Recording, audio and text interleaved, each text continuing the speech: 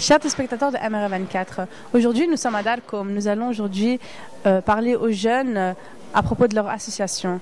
Salam alaikum. Wa alaikum salam. Donc tu peux nous expliquer un peu euh, quelle est l'association, ce que vous allez faire? Donc moi je suis euh, Ismaël, coordinateur de la SBL Young Sport et Blabla. Et notre projet c'est un projet de solidarité. Et vous comptez faire quoi avec l'association de Ratatouille? Ratatouille, c'est ma collègue qui va vous en parler. Merci. Euh, salam alaikum. Donc, euh, moi, je suis Sana et je travaille aussi euh, à Ratatouille comme Ismaël. En fait, on est deux éducateurs donc, de la maison de jeunes qui se trouve à Scarbeck. Et euh, on fait en fait des actions chaque vendredi et mardi avec les jeunes 16+. Donc, le but des actions, c'est quoi? C'est d'aller aider les gens qui sont dans le besoin. Donc, des distributions de nourriture ou de repas. on fait un peu de tout. Donc, voilà. Et en fait, de là est parti le projet pour aller au Québec, au Canada. Voilà, en fait, en gros, euh, l'explication du projet. Donc, ce qu'on voudrait faire avec les 16+. Donc le but euh, de nos ventes ici à Darkom aujourd'hui, ce n'est pas de, payer le voyage, parce que le voyage, les jeunes ont fait en sorte d'avoir des fonds propres pour ce voyage. Le but euh, des récoltes de fonds maintenant, c'est d'avoir des fonds pour après le voyage, donc au retour, pour pouvoir créer une exposition photo et de pouvoir distribuer un reportage explicatif de tout ce qu'on a fait là-bas sur place, aux associations et aux écoles qui travaillent sur ce sujet-là. Ce sont des jeunes Marocains, donc comme on vous a dit, de 16 jusqu'à 22 ans.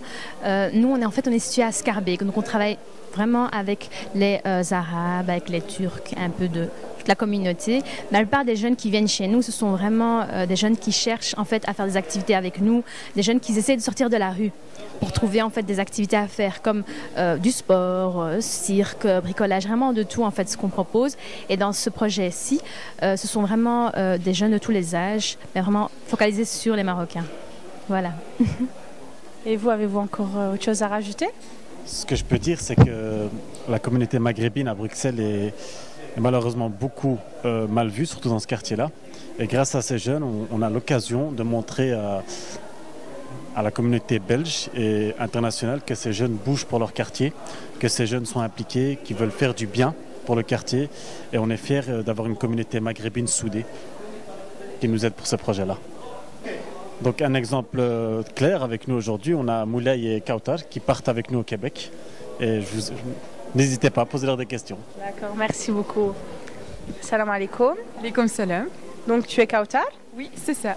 Et euh, quel est ton objectif pour cette association, cette association? Euh, moi, je trouve que c'est une initiative vraiment magnifique.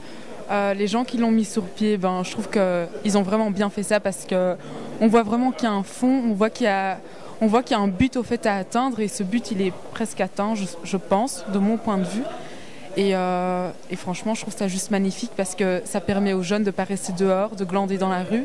Ça permet qu'ils s'occupent au fait euh, pendant une journée. Ça permet de, le- de leur faire vivre des choses. Ça leur permet de, en fait, de raconter plein de choses aux, autres. Et ça, je trouve ça juste magnifique. D'accord, merci. Et toi, qu'est-ce que tu en penses?